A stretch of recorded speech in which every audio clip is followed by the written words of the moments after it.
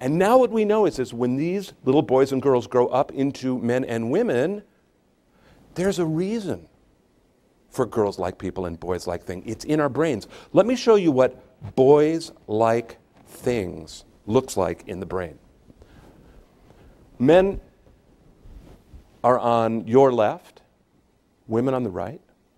And can you see that it's kind of a echo of the pattern, kind of the same pattern, but it looks really different, right? You see that the women just don't have as much of this thing that's going on. This is activity in the brain. Let me tell you what's being measured here. There is a puzzle that's printed on a piece of paper. It only exists in two dimensions. And on the piece of paper are five objects. The only way to solve the puzzle, listen to this, the only way to solve the puzzle is to look at the five objects, mentally cut them out off the piece of paper, mentally form them into cubes, and then keep track of the faces and align the faces so it makes a pattern. Got it? Women, let me ask you a question. Does that sound like fun to you?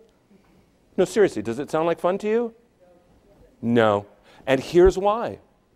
It's not that you can't solve the puzzle, but when you go to solve this puzzle, that's all the help you get.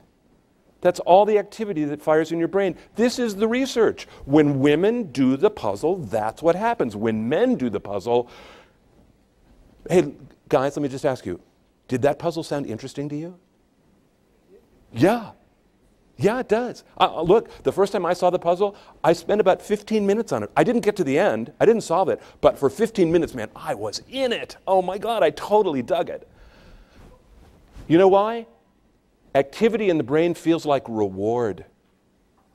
Think about that. Activity in the brain feels like reward. Women aren't getting rewarded for this.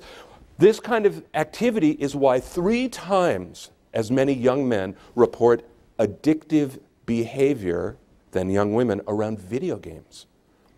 All that 3D stuff and what's off screen and all. Men dig it, they dig it. Women don't. So, what about girls like people? Let me show you that. So, you see this, right? It's kind of an echo pattern. I'm going to show you something completely different. Look at this.